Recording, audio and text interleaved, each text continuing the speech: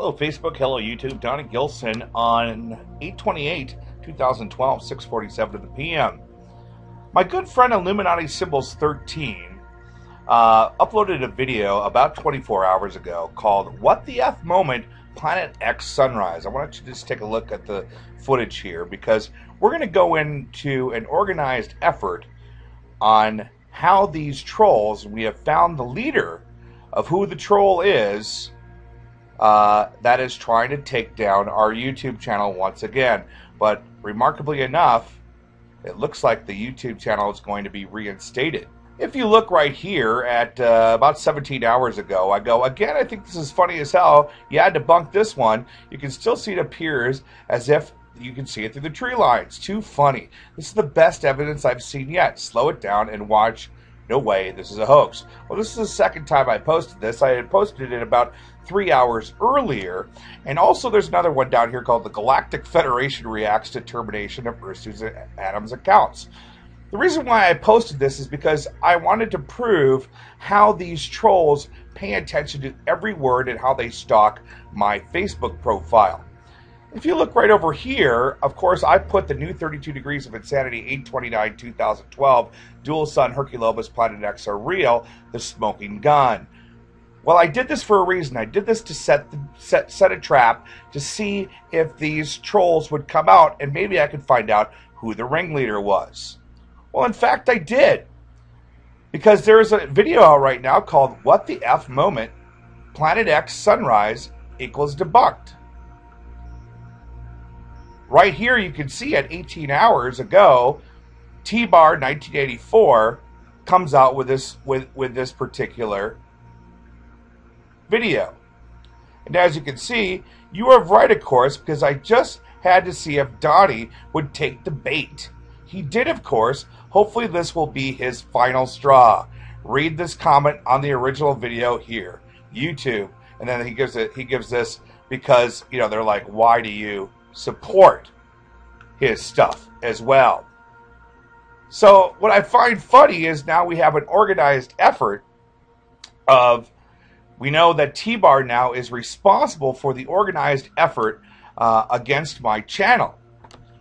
Interesting enough, when I talked to you, when I told you a little bit about also this uh, particular video right here, the Galactic Federation reacts to termination of Ursu Adams' account. I posted that about 17 hours ago. Within five minutes, guys, within five minutes, that if you if we click on it here, watch what happens. This video has been removed as a violation of YouTube's policy prohibiting hate speech. Sorry about that. All the video said is I'm going to slaughter the trolls. So if trolls are actually people, well then I could see it would be some sort of hate speech. But how is trolls how are trolls they're aren't they mythical creatures? I thought they were. That's what I thought. But how can you have hate speech against trolls? Unless there's an organized effort or some sort of software program that's actually sending out and flagging these videos. And of course, you can see right here, the proof is in the pudding that they are set, trying to set a bait or trying to set a trap to bring down these videos. Now, I want you to take a look at this video again. And as you can see, also, guys, here's something quite interesting. Um, I put my name in the search engines. It looks like Donny Gillson's official 32 Degrees of Insanity YouTube channel is, you know, you can see 10,735 subscribers. It looks like it's coming back in the search engine, but when you go to it right now, it looks like it's still gone. So I'm not quite sure what this means. Uh, could it mean that they're rebuilding everything? Because I mean, I've got like over 300 videos they probably have to go in and reestablish everything. So it looks like, let's cross our fingers, that now it's showing up in the search engine again. So that means that the channel is coming back. I hope that's what it looks like. But still, when you press on that, you still get the account has been terminated due to repeat or severe violations of terms of service. Now, what I what I don't get is how the hell you know, these other guys can use copyrighted footage. And actually, Illuminati Symbol 13 is a very close friend of mine.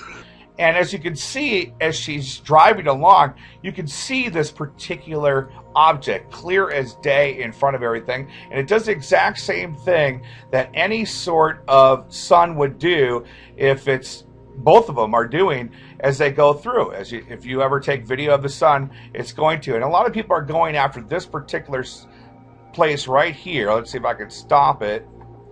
Let's see if I bring it back here just a tad bit. They're trying to say that this is a. Did you see that? That little reflection there at 31. They're trying to say right as we go here. There we go right there as it showed up as a reflection, but it showed up as two different reflections. And of course, it was just shining through the trees, guys. I'll back that up again so you can see it real quick here. There we go. See, and you can still see there are two definitive bodies. But what I wanted to take a look at is, like I always do, is go to see where it is in Stellarium. Of course, it is at sunrise, so it's about 11:31, uh, 11. It's about an eight-hour difference in Tennessee, and of course, we see it uh, at the Deccan Ra. It is actually in Leo, 1035, 16, 11, 07, 04. But then I looked at the Ra and Dec as well of 1034, 36, 11, 11, 0. And I noticed something quite interesting. I also saw that it was an ISC 622. That's an actual galaxy. All right? But when you take a look at Sky Map, what do we see right over here, guys? Yep, that is the so called Hercolubus system right here, the infamous system right here, right off to the right hand side.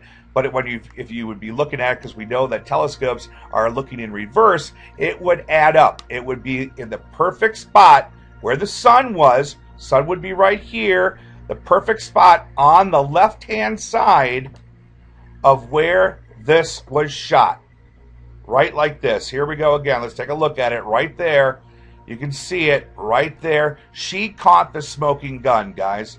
Right there. Perfect as you could be. If we look at Stellarium, we see right here she's in Tennessee. She's a good friend of mine. She's right outside of Nashville. So she is right there, as you can see, right in the sun. Bingo. You can't. It's it's too perfect absolutely too perfect, guys. Also, remember that the NASA event tomorrow to discuss black holes and extreme objects will be going on. It starts at 10 a.m. tomorrow.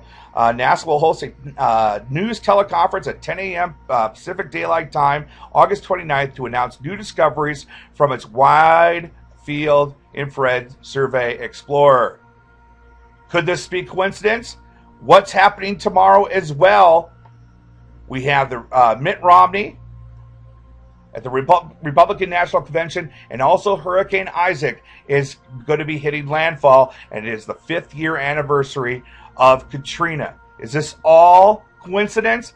No, it is not. And one more thing about coincidences. Of course, we see here in Tennessee, right outside of Memphis, that the sun is in at, at 11:31 or at sunrise. Uh, 11:31 is UTC, so it'd be about 6:31 in the morning. Uh, sunrise. We can see that it is in Leo. And a lot of people are like saying, "Well, how come it, it's supposed to be coming from the south, uh, out of Antarctica?" But here we see, if we go down and we take a look at the same exact time at Neumayer Station. This is interesting. Watch this. Look at where the sun is.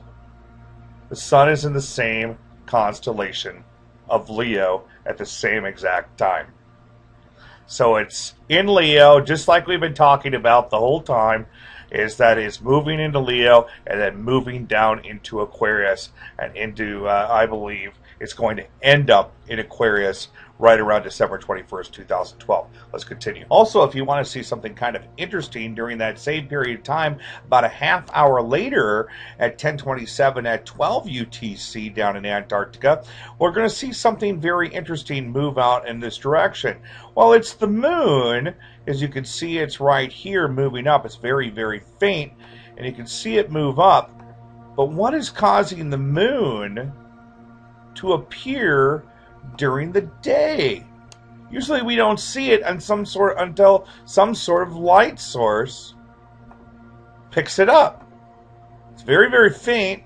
So that to me tells me that there is something bright behind there. As you can see the moon moving back and forth right there through Neumayer as I page through this on the same exact date at the same exact time. All right, so I'm going to go ahead and play my, my good friend's uh, video here. And as you can see, she's actually in her car. She's in the passenger side. She's viewing this from her own two eyes.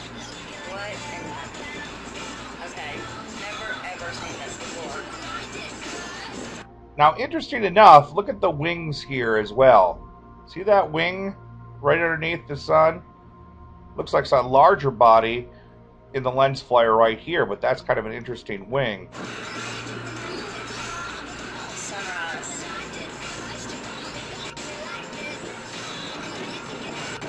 It bends with the it, it bends with the environment. And you guys got to remember one thing: they're traveling at 40 to 50, maybe even 60 miles an hour on a freeway, and this is not moving one bit. A lens flare, if it was a lens flare, it would not sit solid with this. I don't care what anybody says. This is the Dark Star, the Blue Dwarf, Blue Kachina. This is what we've been looking for. And we can see by the coordinates, it lines up perfectly with the Hercolubus system. I'm not going to call it Nibiru system anymore because, of course, we have outlined that before in the past. Of course, here is another uh, picture. How many times I say of course? I love saying that word, of course, because here Martin Michael Guerrero shot this shot. Boy, doesn't that look a lot like? It looks like it's in front of the clouds, and it looks a lot like the orb that was down at New Mars Station. Another person, everybody's trying to direct everybody to T Bar for his debunk. What kind of credentials does T Bar have? He has about as much credentials as I do. But I can tell you, we can tell it's an organized effort because they said, let's see if Donny takes the bait. Well, I've got the proof in the pudding, and we've got another shot of it right here of another orb of some sort right within the clouds.